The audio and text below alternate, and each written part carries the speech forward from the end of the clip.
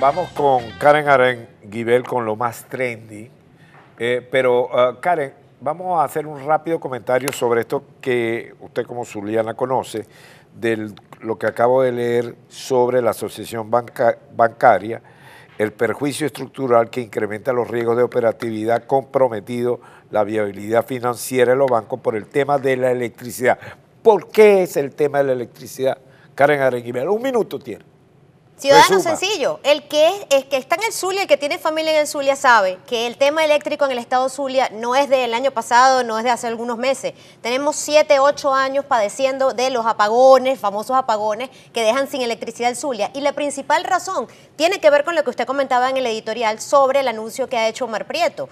Descaradamente están buscando oficializar la criptomoneda como una manera de intercambio de pago. Dio cadena regional ayer. Correcto, en la cadena regional de ayer, él tiene un espacio todas las tardes en, los canales regionales y las emisoras del Estado Zulia, él anunció que iban hacia un Estado donde iban a pagar con criptomonedas, porque evidentemente lo que dice la asociación bancaria, se están quedando sin liquidez y de alguna manera tienen que resolver el tema del dinero, de cómo pagarle a la gente, de cómo mantener a la gente ocupada y lo están haciendo y lo van a practicar en el Estado Zulia. El Estado Zulia ha sido el conejillo de India del régimen de Nicolás Maduro. Comenzaron con los apagones. La excusa era cualquier cosa, todos los días salían con una distinta y la verdadera excusa, la cantidad de granjas que tienen minando criptomonedas. ¿Granjas que pertenecen a quién? A Omar Prieto. Ahí está. Y eso lo sabe todo el mundo. Lo dejamos así, venga para lo más Nos vamos a la tendencia. Nos vamos con lo que es tendencia el día de hoy, ciudadano, en Venezuela, en Estados Unidos, en el mundo. El metro de Caracas se volvió tendencia, ciudadano. Otra vez una falla en el metro, pero esta vez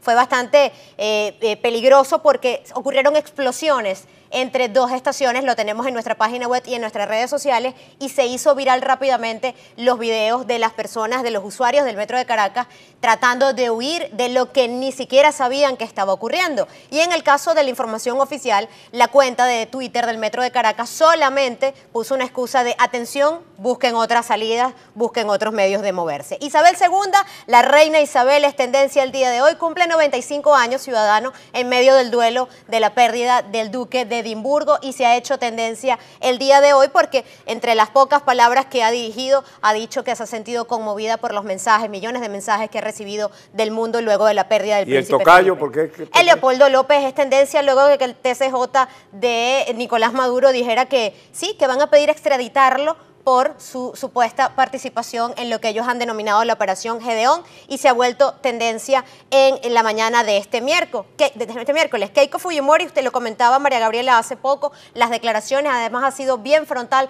con el régimen de Nicolás Maduro y en las últimas declaraciones ella lo deja muy claro, la única manera o la mejor manera de explicarle al mundo cómo, y a los peruanos, cómo eh, la crisis de migrantes ha, afectado a Perú o la crisis que se vive en Venezuela es una realidad, es casi el millón de venezolanos que hacen vida en Perú. Y Putin, ciudadano, es tendencia porque nuevamente defiende las dictaduras. En el último discurso que ha hecho eh, público en Rusia, ha dicho que él está en contra de los golpes de Estado que se han querido eh, fomentar en países como Venezuela no nos queda duda de que es un aliado de Nicolás Maduro. Nos vamos a los Estados Unidos, en donde el ex gobernador de Nueva Jersey se hizo tendencia luego de decir o de eh, filtrarse la información de que podría ser un candidato para las elecciones del 2024. Back the Blue tiene que ver con la tendencia o con la decisión sobre el tema de George Floyd ayer, pero ahora los republicanos en este caso y grupos extremos que están en contra de la decisión que eh, no se ha aclarado cuál es la sentencia, pero que ya acusó a este policía o ex policía de Minneapolis sobre el asesinato de George Floyd, han posicionado esta tendencia que tiene que ver con que les importa la vida de los azules y a eso hacen referencia a los policías. El Departamento de Justicia es tendencia hoy porque han anunciado que además de esta sentencia contra el ex policía van a investigar al Departamento de Policías porque aparentemente no es el único caso o la única denuncia de abuso policial en Minneapolis y esto va a llevar una investigación mucho más profunda en el Departamento de Policía. Prince es tendencia en Estados Unidos, ciudadanos se cumplen cinco años de la muerte de este legendario músico y que se ha hecho tendencia en los Estados Unidos y la madre naturaleza sigue siendo tendencia porque hay muchos estados que están sorprendidos, amanecieron llenos de nieve al finales de abril y es una cosa loca del clima que ya se había anunciado la pasada semana. Bueno, la página, no, breve pausa y continuamos. Llévatelo.